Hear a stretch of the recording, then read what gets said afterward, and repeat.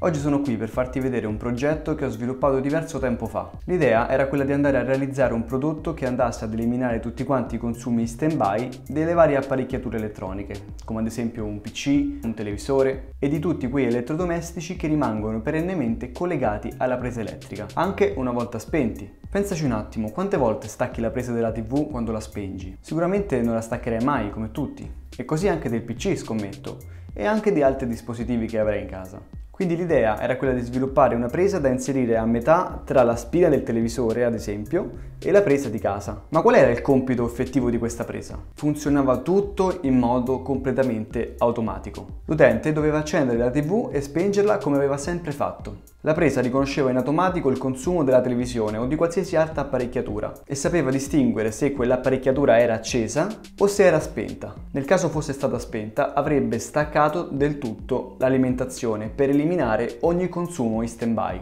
Sicuramente starei pensando, eh, ma i consumi in stand-by sono relativamente bassi, quindi magari non vanno ad incidere sulla bolletta o quant'altro.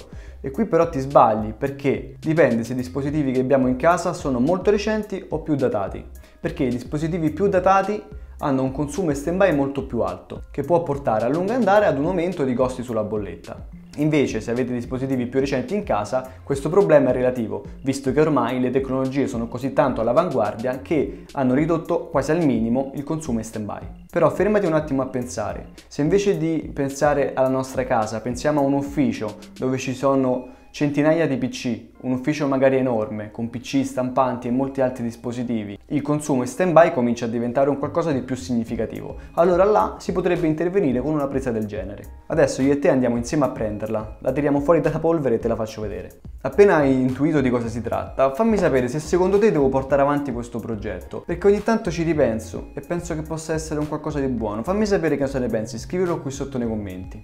Ok, perfetto, andiamola a prendere nei meandri. Eccoti qua.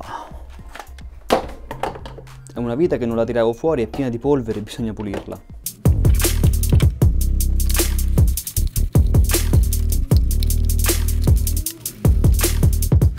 Ah, tutto sommato neanche troppo, pensavo peggio. Era legata con questo nastro perché praticamente non avevo più messo le viti perché ci stavo lavorando sopra, poi ho dovuto lasciare perdere, ma adesso la andiamo a vedere meglio. E torniamo in ufficio ti giuro che in genere sono più ordinato di così. E ora dove la metto sta roba?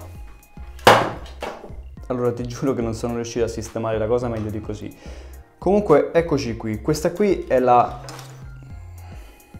questo qui è un progetto che ho sviluppato circa tre anni fa. Non l'ho terminato perché poi sono sopraggiunte altre cose e l'ho lasciato praticamente, l'ho depositato lì da dove l'ho ritirato fuori oggi. Il dispositivo è composto da questa scheda che ho progettato e questa scheda che invece ho acquistato. Il circuito in questione è in grado di andare ad eliminare in automatico gli assorbimenti stand-by di tutti quanti i nostri apparecchi. Può essere un PC, può essere un televisore. Questa qui è la scheda madre, chiamiamola così, e questo qui è il dispositivo di riconoscimento a radiofrequenza. È un sensore a microonde che genera delle onde elettromagnetiche e riconosce la persona a una certa distanza, anche attraverso gli oggetti. Quindi la presa si andrà a riattivare in automatico quando ci andremo ad avvicinare all'oggetto che vogliamo accendere. Adesso cercherò di rimodellarla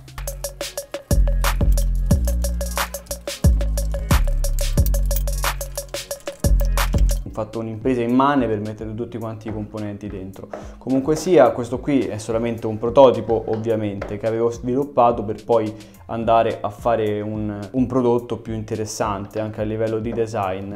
Qui, come potete vedere, questo qui può essere attaccato ad una presa e qui può essere messa la presa che deve essere poi disattivata. Anche per questo video siamo giunti alla fine, se ti è piaciuto mi raccomando lascia un like, soprattutto per lei.